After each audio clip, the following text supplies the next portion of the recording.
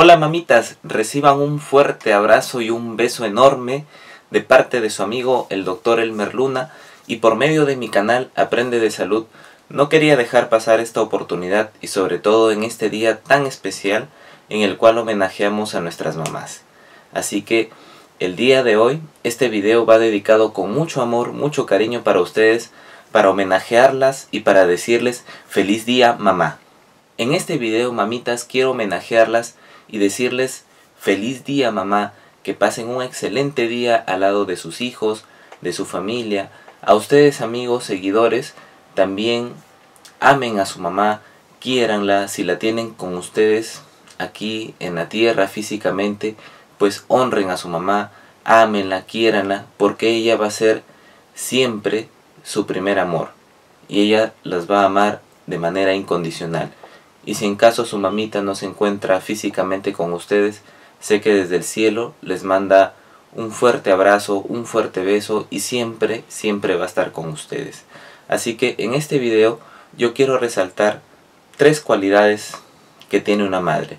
Yo sé que la madre tiene infinitas cualidades, muchas que resaltar, pero solamente quiero en esta ocasión mencionar tres cosas que para mí creo yo son las más importantes.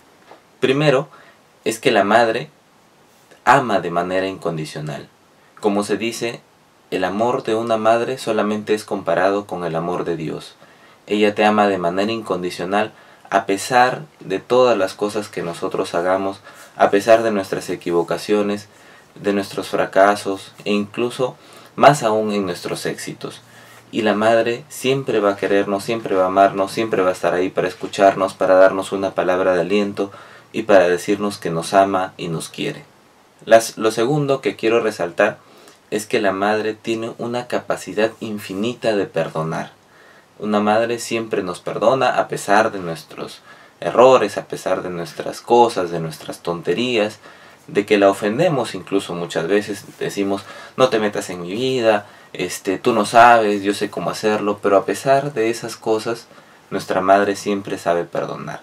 Y lo tercero creo yo, es la capacidad que tiene una mamá para poder adaptarse a la familia, para adaptarse a cada uno de sus hijos.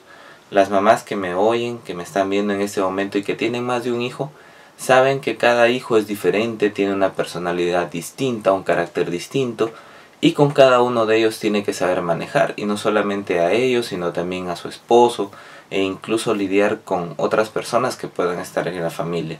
Entonces a veces los hijos piensan y dicen, no, mi mamá te quiere más a ti, mi mamá me quiere más a mí, pero no es así, sino que una madre adapta su amor a cada uno de sus hijos y con ellos adopta incluso hasta comportamientos acondicionados a ellos, porque quiere que su hijo sea feliz. Y bueno, esto creo yo son tres cualidades eh, quizás las más resaltantes de una mamá. Como les digo, la mamá tiene más características, muchas cualidades hermosas que siempre la van a destacar y sobre todo que van a acompañarnos y por lo cual nosotros vamos siempre a quererlas y las vamos a homenajear.